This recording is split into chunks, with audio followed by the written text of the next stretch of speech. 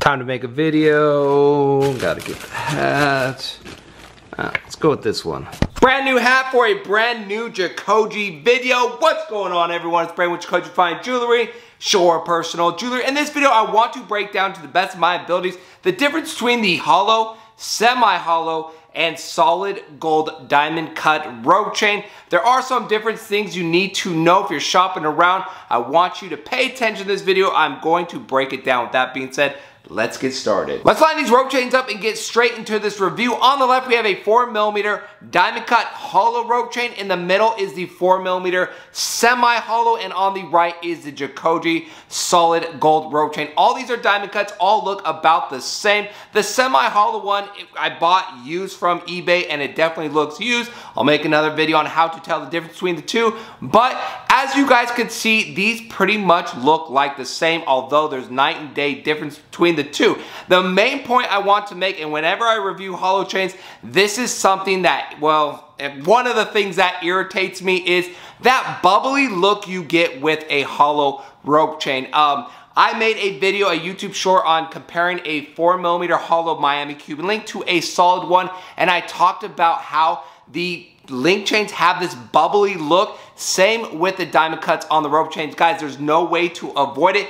That is a huge difference between a solid diamond cut rope chain and a hollow diamond cut rope chain. You don't have the crisp diamond cuts, and I'll show a side-by-side -side of the Jacoje rope chain on the top and the hollow one on the bottom. Now, if you pay attention and the details in these chains, guys, every millimeter counts as far as sizing, and all these small details when you're talking about quality make a huge difference if you want the best overall chain. And I'm talking about it here. You could see how the solid gold rope chain has a uniform crisp, sharp, not sharp to the skin, but a crisp diamond cut that really reflects and refracts that light that's what you want for a diamond cut chain. The solid version has, and because it is hollow, the manufacturers can't apply that same diamond cut because it is a hollow chain. So yes, you do have a diamond cut, but it doesn't look as crisp and clean. Visually, this is the big difference. Now, if you're going the hollow or semi-hollow route, does a more crisp diamond cut that the solid version has to offer make a huge difference to you?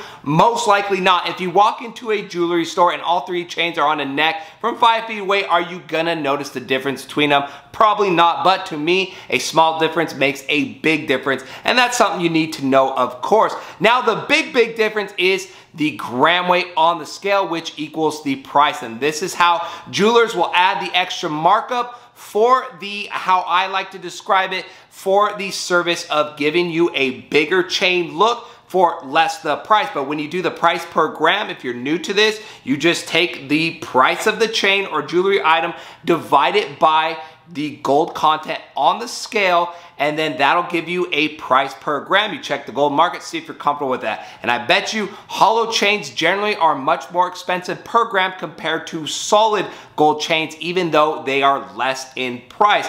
Do the math on there and I'll explain how that will get you in trouble in the end by taking that shortcut. Now, let's weigh out the four millimeter completely hollow rope chain. We have seven and a half grams on the scale. Next up, we have the semi-hollow, which is 18.1 grams. And last but not least, we have the Jacoje 4mm solid gold diamond cut rope chain, 29.7 grams. So 10 grams more or less between these three chains, which is a lot. With all that being said, which one should you go with? Now, with the hollow, it is very tempting for 7.5 grams and the lesser price for a great look.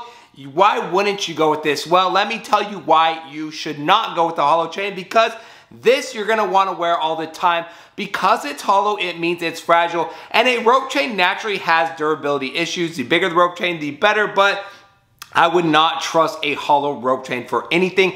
It breaks. The problem with that is most jewelers won't warranty. They're just gonna say, you know what? Yes, I sold it. Yes, I made money off you, but it is a hollow chain. There's nothing we could do. You go to resell it, scrap it. There's not much. There's seven and a half grams. You're gonna realize you overpaid because you're gonna get pennies on the dollar. That is why I say avoid the hollow rope chain. Now, next we have the semi-hollow, which it's crazy because at some points it feels hollow and at some points it feels solid. Half my brain thinks one or the other. It is a crazy feeling. Um, but yes, you're gonna get more durability with a semi-hollow because there's more gold reinforcing these link walls, which is good for durability. You're not gonna have as much problems as a hollow rope chain that is now on the ground. Might have stepped on it by now, but you in my opinion, guys, you're gonna go with this when if you saved a little bit more, spent a little bit more, five, six hundred bucks, who knows, whatever the difference is, all the gram weights fluctuate, vary, the gold prices, all that stuff. You could have gone with the real deal solid version.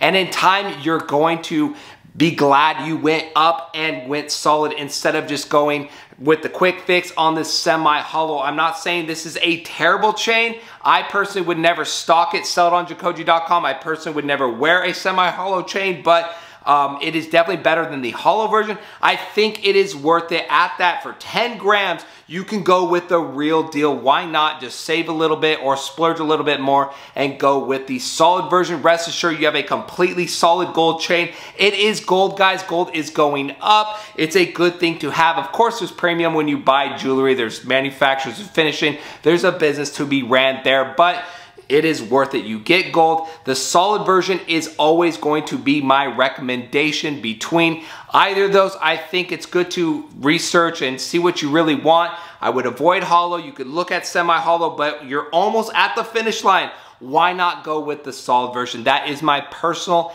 advice to you guys over experience over the years dealing working with chains. That is what I recommend. Drop a comment down below what chain you want me to review next. Thank you guys for watching. That's it for today's video. and We'll see you on our next jewelry video.